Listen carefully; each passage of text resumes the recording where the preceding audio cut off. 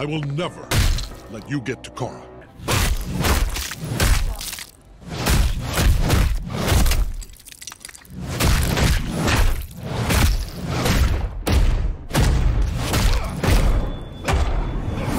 The key is to be like the leaf. Flow with the movement of the gate.